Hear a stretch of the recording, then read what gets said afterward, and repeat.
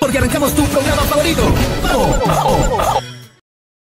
Nada dentro. Bueno, ¿viste? ¿sabes, No, no. Grace? Ahora que está pasando, la verdad que lo de que dijiste es bastante interesante porque lo unimos a lo que estábamos hablando que tiene que ver con la China Ajá. Suárez, porque la gente la, la juzga mucho a ella, ¿viste? Porque es una amo, mujer ¿eh? libre. ¿Qué pensás de lo soy de, chini- de Colapinto? Soy chinista.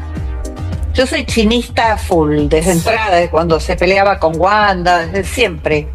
Porque creo que es una chica muy libre. Indudablemente la educaron para realmente hacer lo que, lo que siente y lo que tiene ganas. Y lo que tiene ganas es lo que está haciendo. Se nota que no hay ningún carreteo. Ella sale con el que le gusta, con el que decide que le gusta. Me parece que es un hecho consciente consciente, no importa. Eh, ¿A qué responde? No nos tiene que importar. Pero ¿Hay es prejuicio que con ella, crees? es linda. Entonces, y además es buena actriz, entonces la van a atacar todos.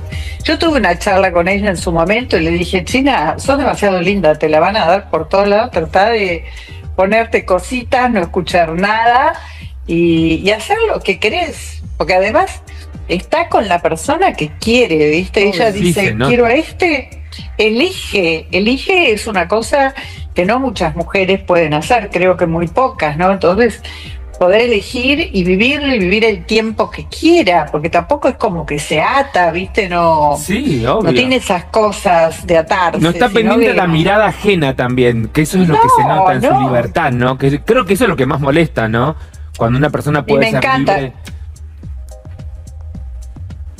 Exacto, sin depender de la mirada. Hay algo que dice que es preferible que te odien por ser como sos y no que te quieran por que seas como los otros que quieren que seas. O sea, estar haciendo un esfuerzo permanente. ¿La ves parecida a vos? ¿Te sentís identificada con la China? A mí me encanta. Sí, puede haber una, un reflejo mío. Siempre nos espejamos, ¿no? Mm. Yo la veo linda, la veo libre, la veo inteligente, la veo con hijos, familiera también.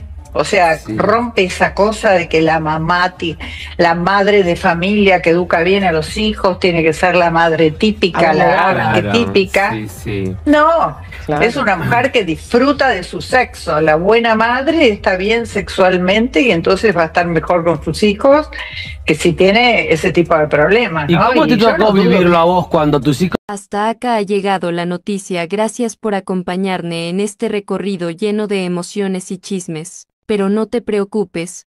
Esto no termina aquí. Mantén los ojos bien abiertos porque tenemos mucho más por compartir. No olvides suscribirte y darle me gusta a nuestros videos para estar al tanto de todo. Nos vemos en el próximo video. Hasta luego.